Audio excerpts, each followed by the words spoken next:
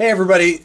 I have a uh, special guest here. This is my old friend Charlie Shew. Charlie stopped by out of the blue today. Well, I knew he was coming yesterday. Charlie and I have been friends since. Tell the story, Charlie. Oh, what year was it, Rick? Do you know? Do you remember the year? 1989. 1989. He called me up when I was teaching at Ithaca College. Charlie Yeah. called me. I actually came up to, to meet with Steve Brown, who you did a video about, Yep. right? And I, I asked Steve, we were standing over on one side of the, the room, and I wanted a, uh, an upright bass lesson because I was just starting to play upright. I'd been a drummer for years, played some bass, but I was thinking, you know, I really want to learn how to play upright jazz. And um, I'm talking to Steve, and he says, you know, I think there's somebody that's better for you. And I said, who's that? And he goes, he pointed across the room. Here's Rick with his hat like sideways like this, with a Jackson. I think it's a Jackson guitar, one of those. I never had a Jackson Oh, guitar. was it Charlie. heavy metal with a like a axe? Was you know, it? head? I was probably playing one of my student guitars or something. Could be. Yeah. But you're talking to a student and you're raking. You're going like this, and I, I looked at you and I went, "That guy?" And he said, "Yeah, yeah, he's he's good. You, you'll you'll dig it." So I was I was teaching one of my heavy metal.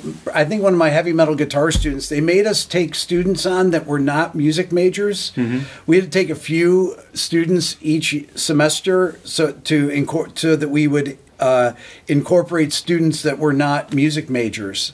Uh-huh. So I'd have people that were you know art majors and stuff, and then I'd get these guys with the pointy headstock guitars, and they'd come in and and they'd want to learn heavy metal stuff. And I remember that's how I first heard about bands like Nirvana uh huh. were from students that came in that wanted to learn songs. Which I didn't know any of that stuff. I was just into. I was into like you know, rock, reggae, stuff like that. You know, but not not the heavy stuff. Yeah. But I wanted to learn upright. And then I, I looked at you and I saw you raking. The thing that impressed me was you were raking on the guitar, playing all these reiki things, and you were taught, having a conversation with this guy the whole time. Yeah. So you were basically not paying any attention to what you were doing there. Yeah. So you came over and you pulled out a book and you said, "Okay, um, read that read that top line." And of course, I knew nothing about reading, so I, I went like C C uh, D, D uh, E like that, and and you you kind of went try it again, do it again. So I tried it again. You saw me struggling like a like anybody could struggle, and then you said. "Look, Just play a blues. And I said, okay. So you started. You had your guitar. You started playing. We played a blues form for a little while, and uh, we got done. I stopped, and you said, "Hey, want to be in a band?" so we, we did. I, jo- I joined your band right after that. That's right. I'd like to take a second to talk to you about this channel. This is actually Rick Beato 2. I've had it since the beginning of my main channel, and many of you are not subscribed. As a matter of fact, 87% of the people that watch this channel regularly are not subscribed. So I encourage you to hit the subscribe button on this channel and on my main channel.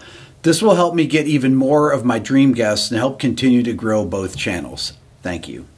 So, Charlie is a fantastic drummer, bass player, and you have been um, involved in the technology side of things really since the beginning. So, the first time that I ever saw anyone record anything digitally was back in 1989. And you had, I remember coming over to your house, and what would you have had back then? That probably was when I first got the Atari Falcon, which was like the the mothership at that time. That was the best uh, recording system, and I think that um, like Moby still has one, and you know, like there's only a couple that were made. Yeah. As a matter of fact, I met the guy. It was this French guy that took over the Atari company, and I was in Saudi Arabia playing with this guy Samite, this African that I've been playing with for many years. And I got on a boat in the Black Sea, and this guy got on. He's talking. It's like me and Samite and this other guy, and I'm talking to him, a French guy. He was there doing. Uh, um, uh, he was doing a talk on robotics, in like I don't know. This was 15 years ago or something, and. Um, I said, yeah, um, you know, he said, I have a company, I have a couple of companies. One of the companies I have is, have you ever heard of it? Atari. I'm like, of course I've heard of Atari. I've had Atari since 1986. And I said, I have a Falcon. He went, you have a Falcon? and I said, yeah. He goes, there's only like, we only made like 50 or 100 of those things. Or maybe a thousand. I don't know what he said. But um, I still have it. I still have it. It's in a box. And I it works. It works. I plugged it in, popped it up. Everything's still So going. Charlie would invent things too. So he Oh. invented The bass. Oh You're my going to God. talk about the bass. Charlie had this bass he made out of PVC pipe. Yeah, it was two, two inch PVC pipe, and it came down to a to an elbow, and then I put the strings through it, drilled holes, and you and- you and Alan came over. I started playing, and I said, "Well, it's kind of it's kind of bendy, you know, because it like it But it was an upright bass, and it sounded Yeah. like a real upright bass. yeah, I stuck piezo's on the side. I shaved it down. Stuck yeah, it was. I okay, but when like get, let's go back to the to the computer thing. What what was? How would you record stuff then? What what what software were you using? oh, it was Cubase. It was Cubase. Yeah, the original Cubase. Well, there's Cubase Atari Falcon, and Okay. there was Cubase that was regular for an Atari. I had no idea that that company went back that far. Yeah, This yeah. is like the first digital recording. Steinberg was the kind of the flagship for Atari. They they were doing all kinds of stuff, and as a matter of fact, I have all these parts for that Atari that I never put in, like uh, memory upgrades, and and I have this uh, digital interface from the time Okay. that would sit on top of it. That so that Was it their own proprietary no thing that oh, they it had? Steinberg. It was Steinberg. Okay. actual Steinberg. Okay, so products. how big? What was the memory like on the computers then? Like five megs or something memory. Some some ridiculous amount, Right? low amount. Yeah, Yeah. it was like nothing. Why would you ever need any more? You know, it was exactly. one of those kind of things. Well, I was working for Glyph Technologies, which probably some of your your audience knows Yeah. who that is. Yeah. Uh, Glyph was doing.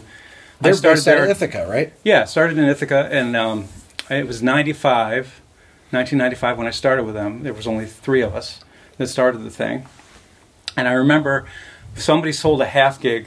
Uh, which was like, oh my god! They were on top of the thing, going, "I sold a half gig," you know, like it was it was this huge A half gig, A half gig. hard drive. Yeah, it was like that was the biggest thing going.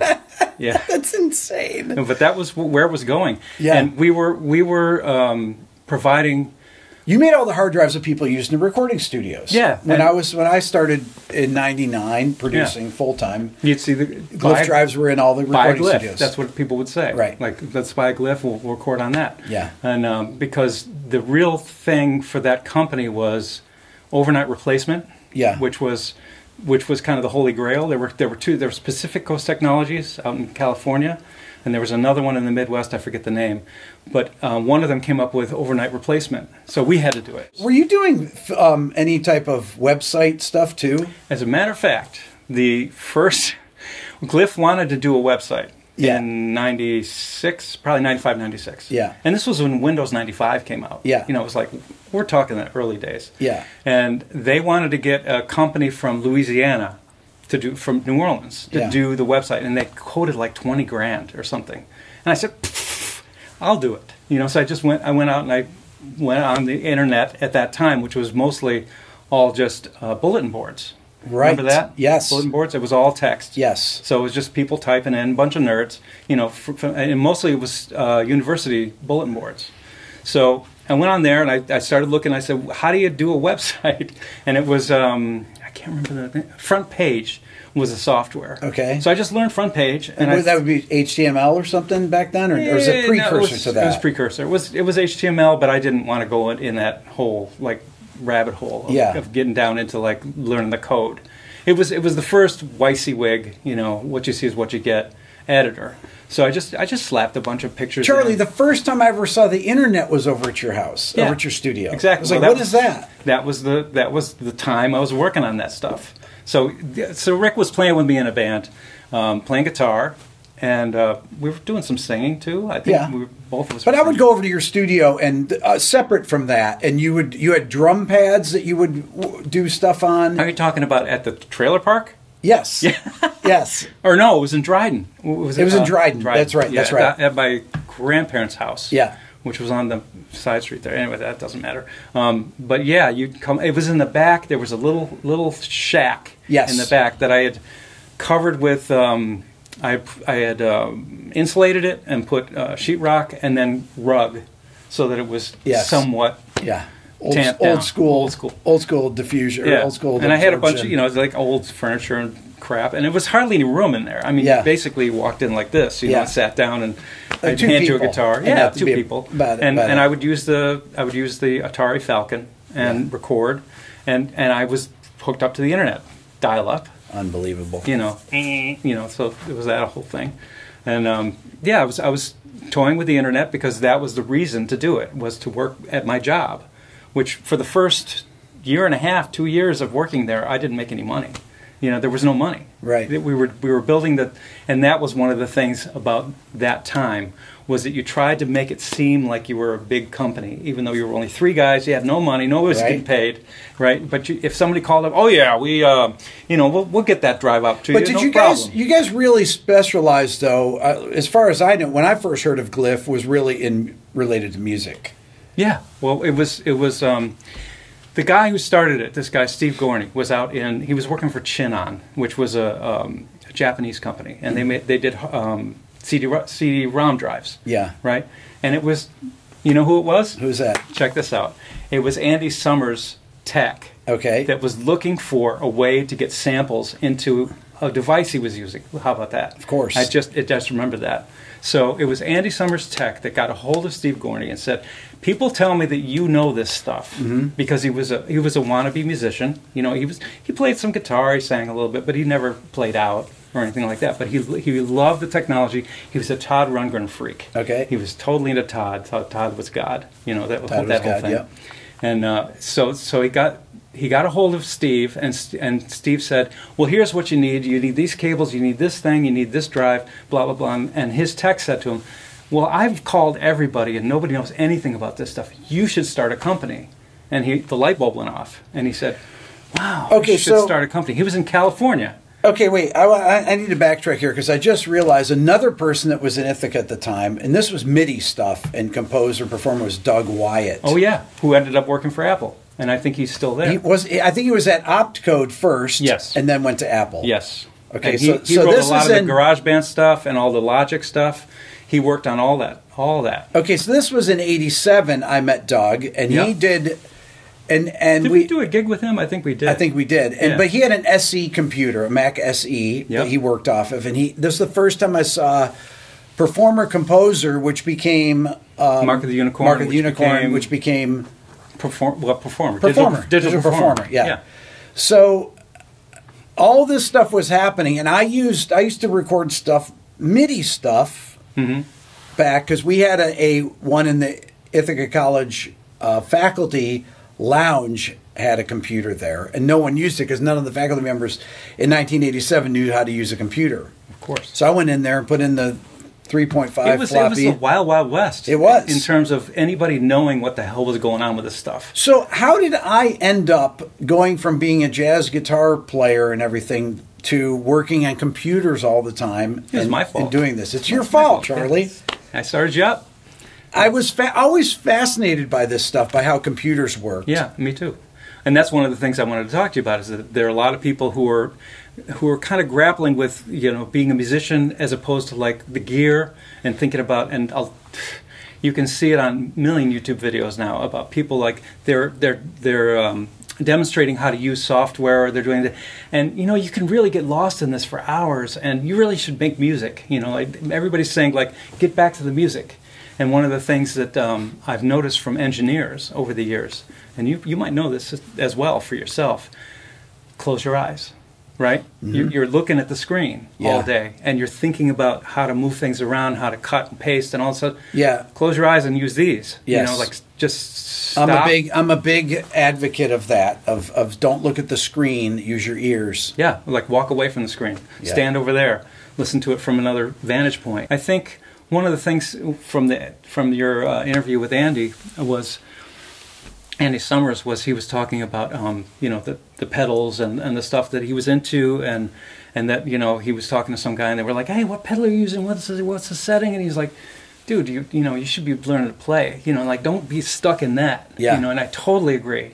Like that's that's been kind of the bane of the existence of people like myself who are into the technology and saw like for instance let's let's just go back even further drum machine Yeah. LinnDrum Yep. I was working in, in Boston at uh, Soundtrack, right? With with a bunch of different people. A guy from the Cars, you know. Uh, somebody was just talking about this band the other day, uh, Mission of Burma. You remember them? Oh yeah. Yeah, Yeah, yeah. They would come in, all that stuff. So somebody walked in with this with this with a drumulator, right? And they it- Drumulator, yeah, of course. They brought it in, they set it up, they plugged it in, they hit a couple of buttons, and a drum a drum pattern started playing. Yeah. And I'm a drummer, and I was playing in the studio. I was the first call drummer at, at Soundtrack for a while, doing Yeah. like McDonald's commercials, and I uh, actually. Uh, Roy Buchanan's guy called me at three in the morning and said, Roy, Roy's doing a session.